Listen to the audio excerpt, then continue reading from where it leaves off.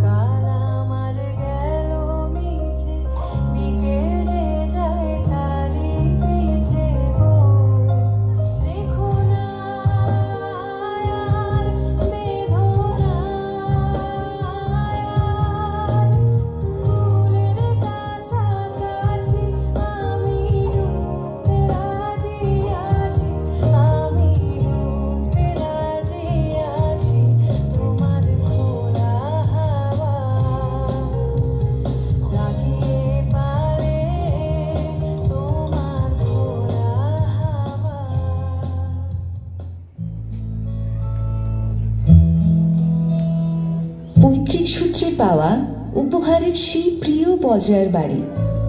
একদিন সেই প্রিয় বাড়ি প্রাকৃতিক সৌন্দর্য উপভোগ করার সময় হঠাৎ এক দৃশ্য রবি ঠাকুরের দৃষ্টি আকর্ষণ করে।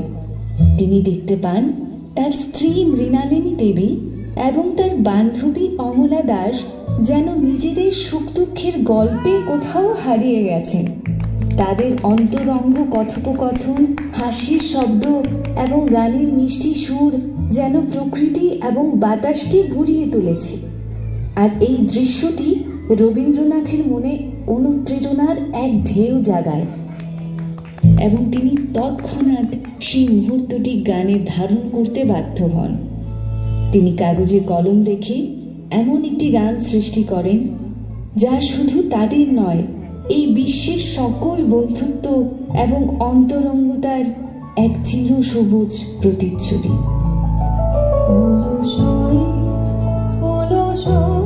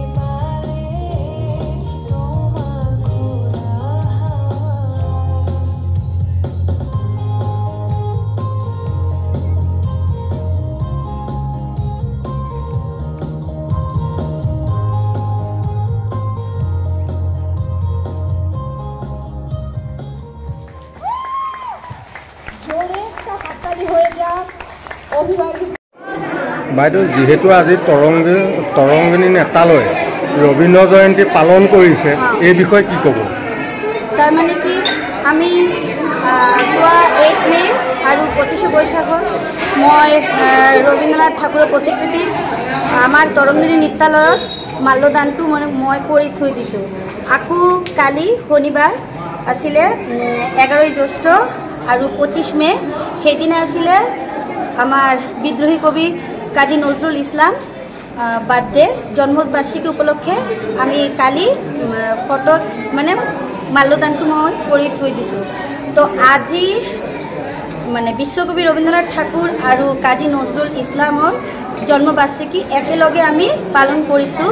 সেইটোৰ উদ্দেশ্য মোৰ এটাই কাৰণ মানে নতুন প্ৰজন্মবিলাক এইবিলাক কালচাৰটো মানে মানে যাতে শিকিব পাৰে সেইটোৱেই মোৰ আশা। মানে সেইটো কাৰণে মই কৰি আছোঁ কাৰণ এই- এইবিলাক আমাৰ কালচাৰ হয়। সেইটো কাৰণে মই কৰি- কৰি আছোঁ আৰু এইটো কৰিবলৈ মোক মানে হোজাইবাসী সকলোৱে মোক সহায় কৰিছে আৰু বিশেষকৈ ৰামকৃষ্ণ সেৱাশ্ৰমৰ সকলো সদস্য মোক সহায় কৰিছে। বাইদেউ বিশেষকৈ ক'ব লাগিব আপুনি নজৰুল ইছলামৰ কথা ক'লে। আপোনাক দেখা পোৱা গ'ল যে আপুনি কোনো ধৰ্ম নিৰ্বিশেষে আপুনি কাম কৰিছে। এই কথাটোতো আচৰিত দেখা পালোঁ। মানে কি ক'ব স্থানটো মই এইটো লৈছোঁ সেইটো কথা? নহয় নহয়। যিহেতু নজৰুল ইছলামো হ্যাঁ। নজৰুল ইসলাম আসলে আহ, আগৰ নামটো আছিলে সিহঁতৰ দুখুমীয়া। উম। হ্যাঁ কিন্তু মানে আমাৰ তাৰমানে আপুনি এটা দেখুৱাব বিচাৰিছে যে আমাৰ হোজাইত জাতি ধৰ্ম জাতি ধৰ্ম চব হয় হয়। সেইটোৱে কথা সেইটো কাৰণে মই কৰি আছোঁ। ঠিক আছে বাইদেউ ধন্যবাদ লাগিল আপোনাৰ কথাখিনিত। অ।